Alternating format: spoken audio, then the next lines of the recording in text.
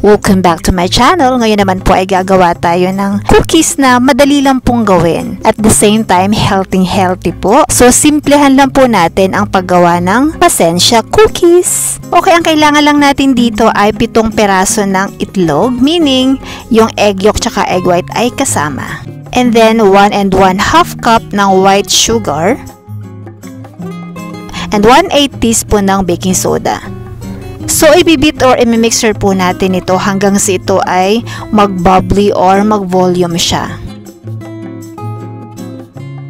So, take note po mga kasosyo, nasa medium lang po yung speed ng aking mixer. So, sa ganitong speed po ng ating mixer, antayin natin ito na, na maging ganito tapos uh, lalakasan na po natin. Alright?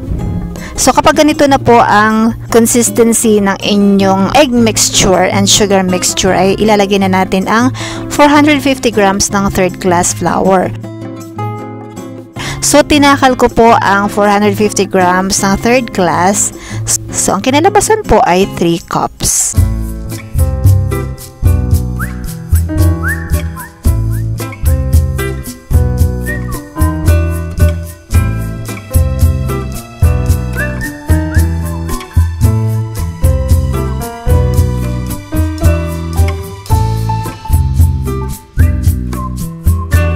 I-mixer po natin ito uli.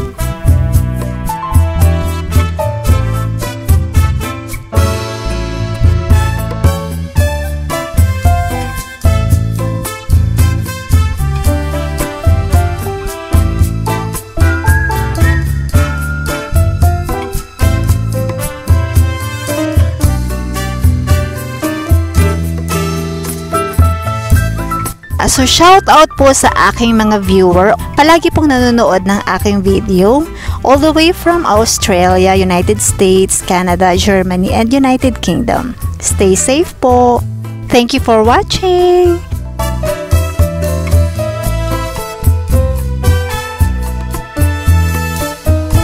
Okay, after 1 minute, ito na siya. So, scrape lang natin yung gilid-gilid. Kasi meron pang mga buo-buong harina siguro dito sa ilalim at sa gilid.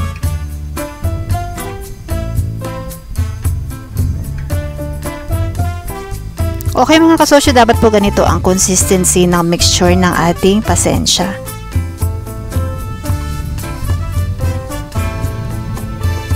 Kung gagawin niyo po itong pang recipe ay i-adjust nyo na lang po yung inyong um, measurement ng inyong ingredients.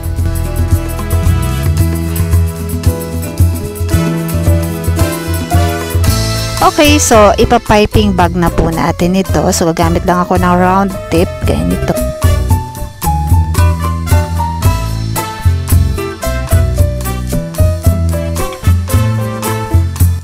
So dito po mga kasosyo ay hindi na po ako gagamit ng parchment paper. So, ang gagawin ko na lamang ay sasabuyan ko na lang yung aking baking sheet ng uh, harina or ng flour.